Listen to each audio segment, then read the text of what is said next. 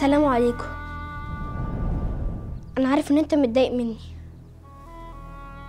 علشان أنا كدبت على جدي. واشتريت كراميلا بدل الشمع.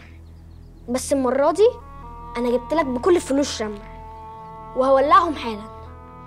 ولو أمي خافت وما ماتتش زي أبويا هولع لك زيهم.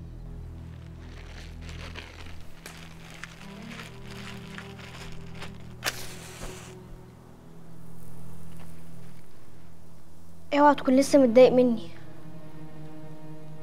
اصل بصراحة أنا ما كنتش مصدق كلام جدي. بس بعد ما ابويا مات صدقته.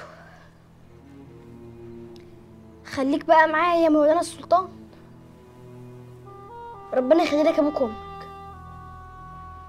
فاطمة يا مريم أكلوا أختك كلي كمان ياما علشان تطلعي العيا من جدتك. مش انت برضه بتقولي لي كده؟ ما أنا اكلت يا ضنايا وبعدين هو إحنا كنا فين وبقينا فين؟ ده أنا قلت خلاص هقابل وجه كريم. سبحانه من قومني تاني. الحمد لله على سلامتك يا بنتي. أيوه. سبحانه مسبب الأسباب. تعال تعال. رحت المشوار إياه ولا لسه؟ لسه يا جدي. لسه يا جدي؟ اخصى عليك يا حامد. ليه كده يا ابني؟ ده وعد الحر دين عليه. انت ندرت وكان لازم توفي بنادرك امسك يا حامد امسك. خد. روح اوفي بنادرك وبعد كده عود نفسك يا ابني.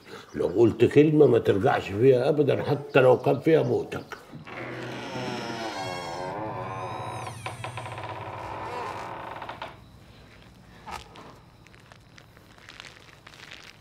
بص أنا جبت لك النادر أهو وهولع خلاك دلوقتي.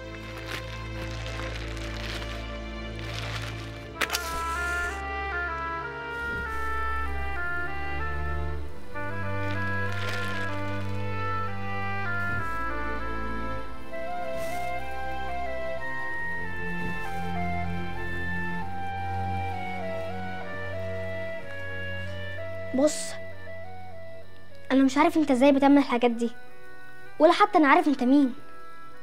بس كتر خيرك كتر خيرك قوي. أمي خفت وبقت زي الفل. بس أنا عندي طلب صغير كده.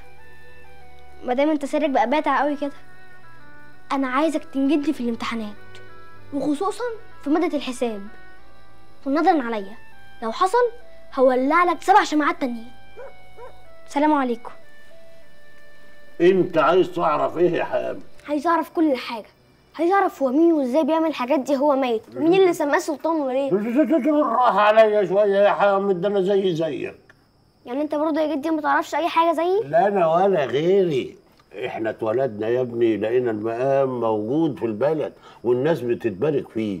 ولا حد يعرف هو مين ولا إيه حكايته. بس اللي عرفناه واتأكدنا منه إن ما حدش لغى له وخيب معاه ابدا زي ما حصل معاك بالظبط يا حبيبي. هو بصراحة شغال معايا. قصدت في الامتحانات ونجحت. أه؟ وقصدت في ماده مدرس الحساب وظبط ونجدني أه تمام وقصدت في عيا امي فلح طيب عايز إيه تاني يا حامد؟